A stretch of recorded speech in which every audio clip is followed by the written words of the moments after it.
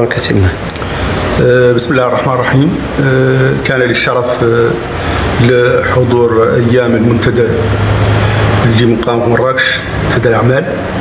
وكانت فرصة ثمينة التقينا برجال أعمال وقدمنا مشاريع ولقينا عهود بتعهدات تمويل وتعرفنا على مجموعة رجال أعمال تهتم بمواضيع مثل مواضيع التنمية اللي كانت حاضرة بقوة